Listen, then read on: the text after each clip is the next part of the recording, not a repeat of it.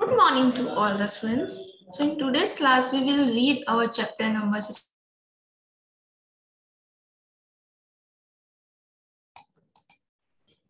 And the name of our chapter is Flightless Birds. In this chapter, we will learn about some birds जो सब उनमें सब features and every character is related to the bird but जो एक main feature होता है that they are able to fly वो उनमें प्रेजेंट नहीं होता। That's why their name is flightless birds तो birds that can not fly are known as flightless birds there are many pictures in the on the screen and we will learn about every bird one by one okay so, there are nine pictures and name of the bird is written under the picture. तो सबसे पहले हमारी first picture है, जिसमें छोटी सी bird show हो रही है and the colour of the bird is green and the name of the bird is kakapo तो जो ये ना बर्ड है, जो ये बर्ड है, ये भी फ्लाइटलेस बर्ड है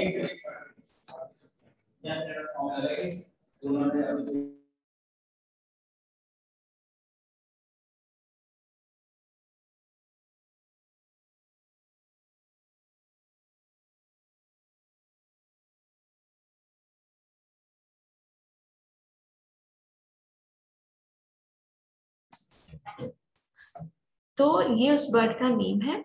देन एक दूसरी पिक्चर है जिसका नाम है कैसोवेरी कैसोवेरी जो बर्ड है वो थोड़ी सी साइज़ में बड़ी है कंपेरेटिवली फ़र्स्ट वन एंड इसमें बहुत सारे फेदर्स हैं और ब्लूइश ब्लैकिश थोड़ा सा ग्रेश बीच में आ रहा है, वैसे इसका पूरा फेस आ जाता है। तो इसका नेम है कैसोवेरी देन थर्ड एक हमारी बर्ड है जो यहाँ पे पिक्चर में आपको शो हो रही है, जिसका नाम है कीवी अब कीवी जो फ्रूट भी होता है राइट और इसी सेम नेम से हमारे बर्ड भी है जिसमें ब्राउन फेदर्स हैं थोड़ा सा ऊपर फेस पास व्हाइटिश भी फेदर्स प्रेजेंट हैं तो ये हमारी तीसरी फ्लाइटलेस बर्ड है।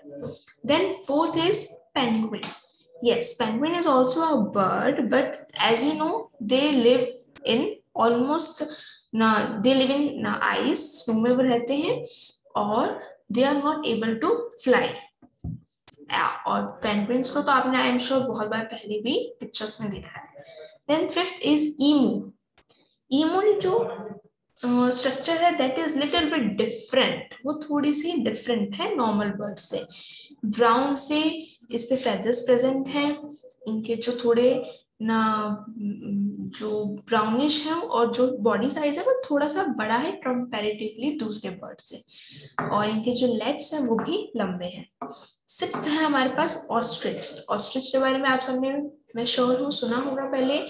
तो और बहुत सारे पिक्चर्स में इन्हें देखा भी तो ब्लैकिश कलर के फेदर्स प्रेजेंट हैं, जिन, जहाँ पे जो लेग्स हैं और जो ऊपर वाला पार्ट है, वो पिंकिश है। ये हुई ostrich seventh is takahe takahe में जो कलरिश आ रहे हैं वो बहुत ही मिक्सड है, जिसमें ब्लू है, थोड़ा सा ग्रीन है देन येलो भी है और different shades of blue and green इसमें प्रेजेंट है।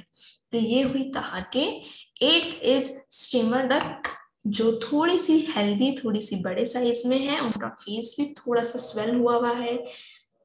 और व्हाइटिश और ब्लैकिश मेनली ब्लैकिश इनके पूरे बॉडी कलर है। देन नाइन्थ इज़ जेट्रा जो ब्राउन कलर में ये हुई हमारी टोटल नाइन फ्लाइटलेस बर्ड्स जो यहाँ पे शो हुई हुई है अब there is also one fact in this chapter a bird named Clark's nutcracker hides its food in thousands of places and it can recall exactly where it buried each food item up to nine months.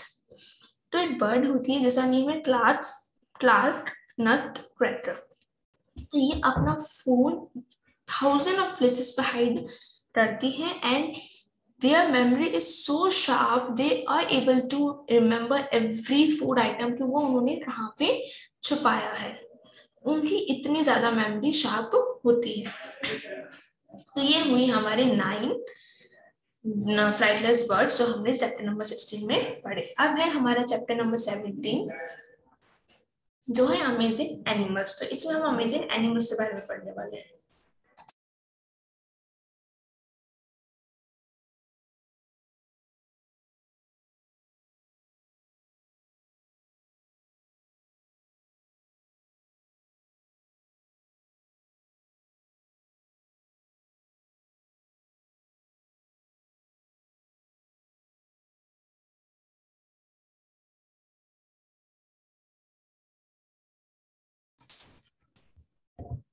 इस chapter में हमारे पास six animals दिए हुए हैं जिनके बारे में हमें डिफरेंट डिफरेंट बात बताई गई है। तो let's start with the first one animal the, now that is present on this page is different and unique from all the other animals. तो सबसे पहले oysters oysters can change from one gender to another but तो oyster sir ऐसे animal हैं, वो अपने gender change कर लेते हैं मींस वो मेल से फीमेल बन जाते हैं फीमेल से मेल बन जाते हैं। तो they have this different ability to change their genders that is oysters next is a father sea catfish keeps the eggs of its young ones in its mouth until they are ready to hatch it does not eat until the young ones are born तो एक सी catfish होती है जो अपने अंडों को अपने मुँह में रखती है जब तक वो पूरी तरह से रेडी नहीं हो जाते बाहर आने के लिए।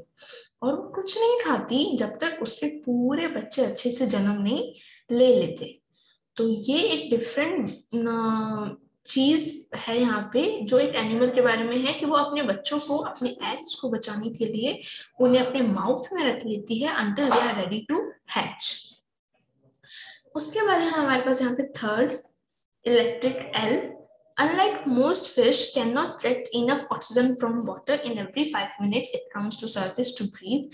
It is also known for its excellent swimming as it can swim both backwards and forwards. तो इलेक्ट्रिक एल ईल एक ना फ़िश होती है वो दूसरी फिशेज जैसी नहीं होती है एक फ़िश होती है जो दूसरी फिशेज जैसी नहीं होती जिसे ऑक्सीजन से पूरा ऑक्सीजन वाटर से नहीं मिलता। तो ये हर पाँच मिनट में ऊपर सरफेस पे, पानी के ऊपर सरफेस आती है ब्रीथ करने के लिए और इसे अपनी स्विमिंग के लिए बहुत अच्छे से जाना जाता है बिकॉज़ ये फॉरवर्ड और बैकवर्ड डायरेक्शन दोनों में अच्छे से स्विम कर सकती है।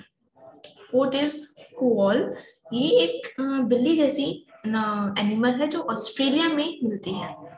ये अपने पूरे दिन में जो सोती है और इसे कोई डिस्टरबेंस ना हो इसलिए ये अपने जो ईयर्स होते हैं जो ईयर्स हैं उन्हें इतना अच्छे से फोल्ड कर लेती है सो दैट इसे कोई डिस्टरबेंस ना हो और ये पूरे दिन अच्छे से सो पाए ऑस्ट्रेलिया में ऐसी बिल्ली ऐसे जो एनिमल है वो पाए जाते हैं Some white-winged vampire bats pretend to be chick of a hen.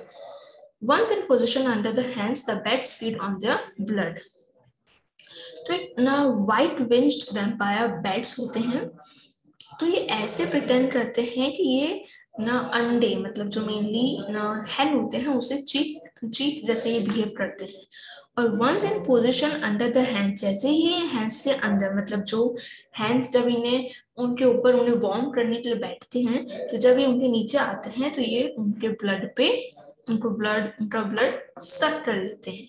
तो that is a type of bats which are available mainly in the outside Cheetah is the only big cat that can turn around while sprinting. Cannot roar. तो एक चीता एक सबसे बड़ी ऐसी बिल्ली है जो स्प्रिंटिंग करते हुए टर्न अराउंड मतलब थोड़ा तेज रन करते हुए पीछे देख लेती है और ये रोड नहीं करती तो इन ये छह एनिमल्स के बारे में हमने यहाँ पे पढ़ा but there is also another information जो नीचे दी हुई है डिड यू नो में। So did you know what's में बताया हुआ है कि elephants can smell water up to three mills miles away जो एनिमल्स होते हैं, वो तीन माइल्स तक वाटर को स्मेल कर सकते हैं। अगर उन्हें आसपास पता चल जाए कि वाटर है तो उन्हें तीन थ्री माइल्स पहले से पता चल जाता है। आसपास कहीं पे पानी है। उनकी जो सेंस होता है स्मेल करने का, वो इतना अच्छा होता है। तो ये वो है हमारे chapter number seventeen and chapter number sixteen अब मैं आपको चैप्टर नंबर सिक्सटीन सेवनटीन का वर्क समझा देती हूँ।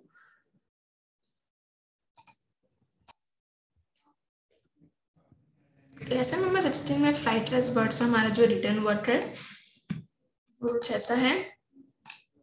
ये सबसे पहले है write the names of some flightless birds तो हमें कुछ फ्लाइटलेस बर्ड से नेम बताने हैं तो ostrich penguin cassowary kiwi steamer duck and emu I have written these six names over from online तो मैंने यहाँ पे ये सिक्स नेम्स यहाँ पे मेंशन किए question number two you answer in one word ठीक है तो फ़र्स्ट है which bird hides its food in thousand of places तो कौन सी ऐसी बर्ड है जो थाउज़ेंड ऑफ़ प्लेसेस अपना फ़ूड छुपाती है?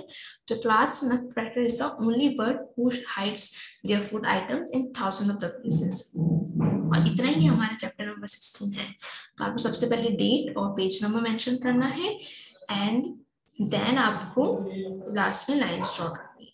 अब है हमारा chapter number seventeen amazing animals जिसमें सबसे पहले है हमारे ट्रू फॉल्स तो first is dash can change from one gender to another gender and back again तो ऐसा कौन सा एनिमल होता है जो अपने वन जेंडर से दूसरे जेंडर में चेंज होता है और उसे वापस से चेंज होना हो तो वो हो जाते हैं। तो oysters is the right answer O Y S T E R S Second, a dash keeps the eggs of its young ones in its mouth until they are ready to hatch.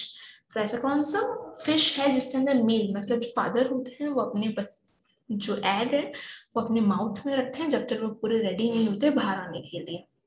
तो sea catfish is the right answer third dash can not get enough oxygen from water कौन सा ऐसा animal है जो water से पूरी तरह oxygen नहीं ले पाता?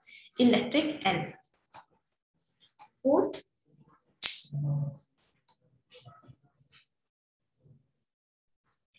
A dash is a cat-like marsupial from Australia. ऐसा कौन सा एनिमल है जो cat-like marsupial जो ऑस्ट्रेलिया में प्रेजेंट होती है cool. Fifth, some dash pretend to be the chicks of a hen. कौन से ऐसे एनिमल है जो प्रिटेंड करते हैं कि वो हैन के चिक्स मतलब बच्चे हैं white winged vampire bats. Sixth, dash is the only big cat that can turn around while sprinting. कौन से ऐसा एनिमल है जो सबसे बड़ी बिल्ली है और स्प्रिटिंग करते हुए पीछे देख लेती है? चीथा तो यही हमारा and the last dash can smell water up to three miles away कौन सा ऐसा एनिमल है जो तीन माइल्स से पहले माइल्स तक वाटर को स्मेल कर लेता है? एलिफेंट्स तो यहाँ पे हमारा चैप्टर नंबर सेवनटीन भी फिनिश हुआ। आपको सारा रिकॉर्ड फिनिश करके you need to send to your ma'am in the PDF format. Please now complete your work on time and make sure you uh, draw the lines in the last and put the date on the first page. I hope you all understood the chapter number 16 and 17. If you still have any doubt, feel free to ask me anytime and do the revision of chapter 16 and 17.